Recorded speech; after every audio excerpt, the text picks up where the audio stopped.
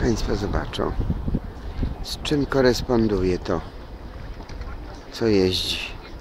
Do Anglo-Ameryki Białystok, stąd z Warszawy, z Rechodupek, kto, co i no, bo to znaczy, że koresponduje z ateistycznym pałacem kultury Stalina i Lenina w Warszawie, gdy jesteśmy na Mazowszu, w Warszawie, gdzie jest Praga Północ Praga Południe, z której jedziemy.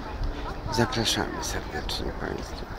Poza tym w Warszawie system moherowy, czym się charakteryzuje? Paleniem papierosów. No mają Matkę Boską, ale nie wiem, czy by chciała pomóc, gdyby tak ktoś zapadł na raka.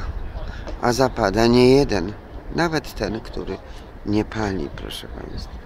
A tu wszyscy palą raczej, prawie.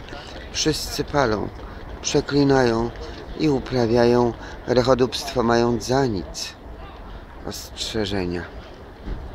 Jachwę, Biblii nie widzieli, w cerkwi ani razu nie byli. Wyrzucają tutaj chrześcijańskie pisma greckie, wyrzucają tu pod cokołem. Warszawa cokół.